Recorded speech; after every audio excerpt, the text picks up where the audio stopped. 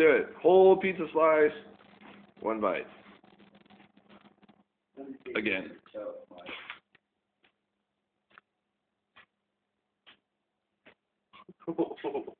You want to explain while that's in your mouth how you just did that a second time with the same piece of pizza? It's pretty gross.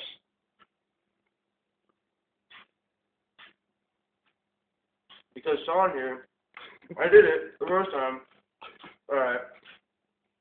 Alright. Sean wanted to put it on YouTube. That's what he does with everything, you know. And he's like, oh, why'd you do that? I should have recorded and put it on YouTube. So I was like, alright. Took it out of my mouth, unfolded it. Brian grossed out. I don't know where he went. So I did it again. But it did exactly the same, so it's alright. you just took like one or you just took like one or two bites and then No, I feel like, like, like this big. yeah, like that big. yeah.